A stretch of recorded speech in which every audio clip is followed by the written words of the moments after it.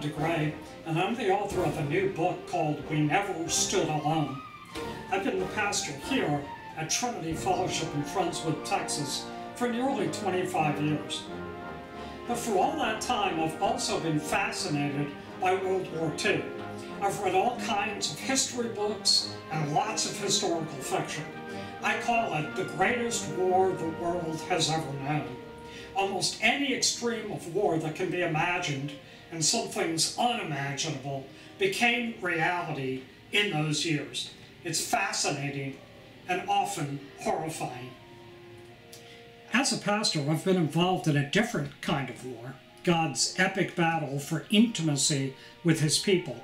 I've watched individuals and families go through all kinds of challenging circumstances the death of a loved one, deep relational hurts, loss of jobs, crushing financial burdens, chronic illnesses, abuse.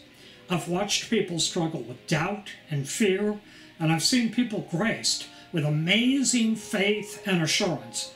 Sometimes it's been the same people. We Never Stood Alone sets those kinds of real life experiences into the setting of World War II. It's the story of a town and a church and a community, not far from London during the first year of the war. It shows how people react to personal tragedies, growing inconveniences, and the mounting closeness of the war itself, from Dunkirk to the Blitz. The story is character driven. Lloyd Robbins is the pastor of the little church in Stokely. He's got temptations and hurts, leftovers from World War I.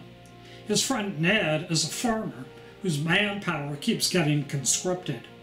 Welly is a young man who says he's a conscientious objector, but his dad just calls him a coward. Old Arthur keeps up a little ship on the Thames River but he wants to take it across the channel to Dunkirk. Violet is a young girl already traumatized by the war. She wants to go live with her sister in Coventry. As the war deepens, the stresses in Stokely reach the breaking point.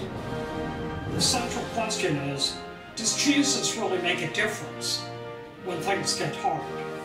As one reviewer said, I found it absorbing impeccably researched, and also full of spiritual and practical truth. Another said, an historically correct page turner, full of believable characters. Their problems are real, and their situations allow for thought provoking, Holy Spirit inspired solutions. We Never Stood Alone is available on Amazon in paperback or Kindle. I hope you'll read it.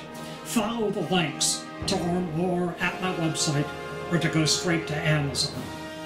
Thank you.